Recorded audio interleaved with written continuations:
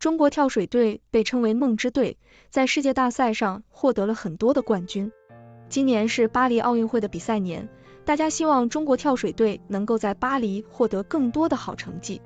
尤其是大家期待的天才少女全红婵，大家相信她一定能够将自己最好的一面展现出来，为中国跳水队夺得更多金牌。现在全红婵没有什么比赛任务，她现在的主要目标都放在了训练和备战上。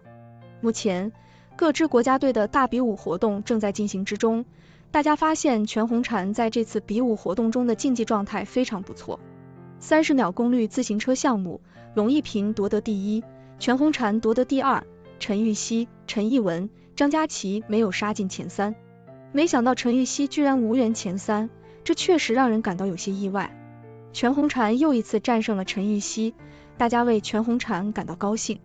全红婵在去年一整年的比赛中多次输给了陈芋汐，大家也为全红婵感到担忧。虽然全红婵的心态调整的非常好，但是竞技体育靠的还是比赛场上的成绩。虽然全红婵这次战胜陈芋汐的项目只是体能的测试项目，但是能够在这样的项目上战胜陈芋汐，证明全红婵状态正在逐渐复苏。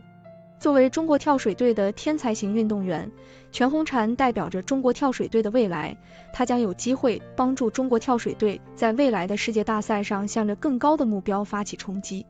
今年的巴黎奥运会上，大家希望全红婵能够稳扎稳打。为中国跳水队取得更好的成绩，粉丝们会时刻关注全红婵，也相信全红婵一定能够做得更好，继续取得好成绩。全红婵和陈芋汐很有可能会联手参加今年的巴黎奥运会，两个小姑娘在双人项目上是搭档，在单人项目上是直接竞争对手，相信她们一定会全力以赴向冠军发起冲击。这次的大比武活动，两个人就开始了正面较量。相信在巴黎奥运会开赛前的这段日子里面，他们会继续较量下去。在巴黎奥运会的赛场上，到底谁能够夺得女子单人项目的冠军，关键要看临场的发挥。无论哪位选手夺得冠军，大家都会继续为他加油。希望全红婵能够将自己最好的一面展现出来。当然，陈芋汐也要继续努力，只有这样，中国跳水队才能够在巴黎再次创造新闻纪录。